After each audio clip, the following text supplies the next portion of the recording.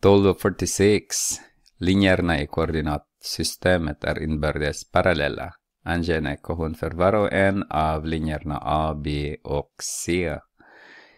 Eh, om jag kan ta bara A först, den röda, så ser jag att jag... Eh, om jag börjar där, så går jag ett steg till höger och två steg ner. Så har jag negativ K som är negativ 2.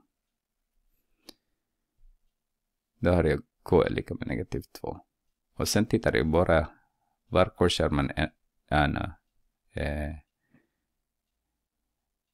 i axeln så har jag i A nu då y är lika med negativ 2x minus 2. Minus 2 är m där. Och i B, ska jag ha bara blå också. I B, jag har exakt samma, negativ 2x. En annan m, ja det är m är 0, så det räcker med den. Och C som är grön.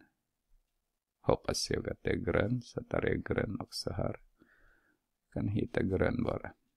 Så C. Y är lika med eh, jo, negativ 2x fortfarande. Men min m är 1, 1, 2, 3, 4, 5. Plus 5 då, positiv 5.